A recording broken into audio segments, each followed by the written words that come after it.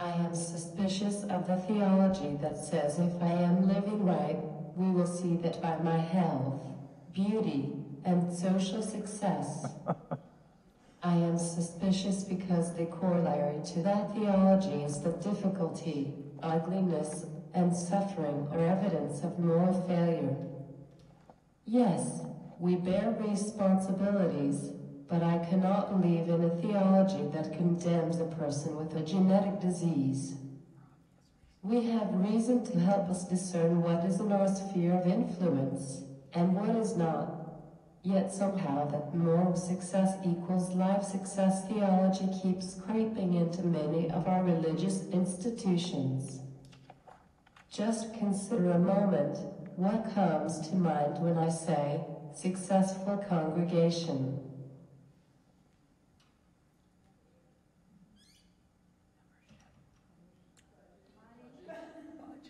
Budget. Visibility, big building. Membership.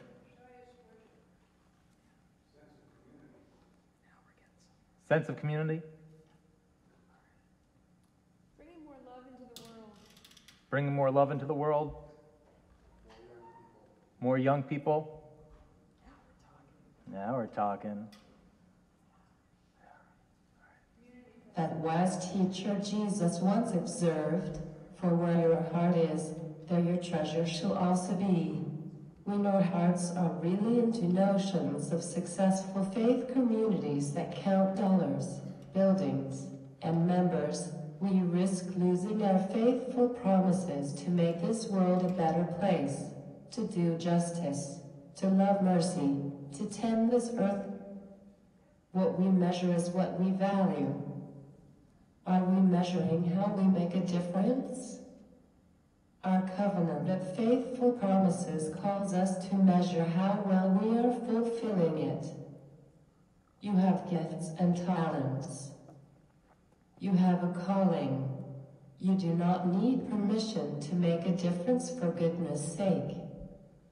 You are living here, and that means you bear responsibilities along with the rest of us. Fulfilling them can even be fun. Yes, there will be slogging through muck. Yes, there will be failures. Yes, you probably will have to deal with both shame and guilt. That's why we support one another and risk letting ourselves being supported when we need it. If life was supposed to be easy, we would not have evolved joy in developing mastery of new skills or the capacity to work for decades to bring about needful change and still find satisfaction and pleasure in that work.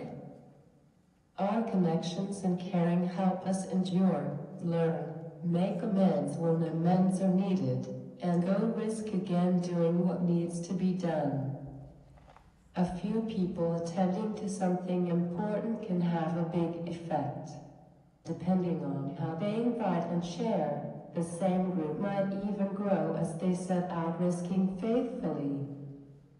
A young adult group might develop a model of growing young adult ministries and share it.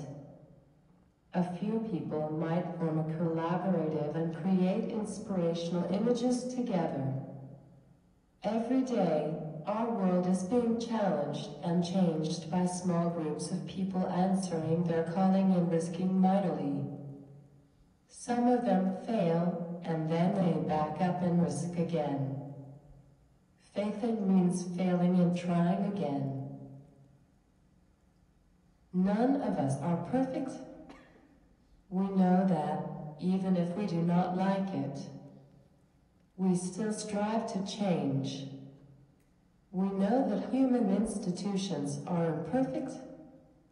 We know that the environment is in trouble. We know there is great suffering being inflicted upon a great many people. Sometimes we talk ourselves into doing nothing by reciting all that is wrong. As people of hope, we are called to answer differently because we know there's trouble and imperfection, including right inside ourselves. There are people hurting. We were called to help. There's a desecrated world. We were called to restore it. There are governments and institutions that need to change.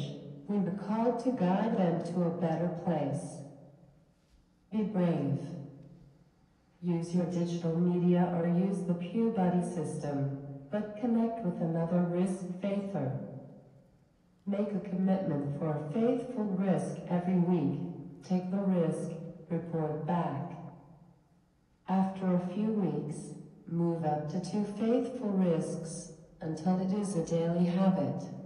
Most of us did not learn to be afraid all at once. We will only learn to be brave one risk at a time. Do not seek to clear every path before you begin. Make way only as needed, or making way will end up taking over and becoming your mission. Every day we have plenty of reasons to be disheartened, discouraged, and despairing, unless we have lots of other reasons to be hopeful, encouraged, and glad to give however we can give to be part of creating more good right now.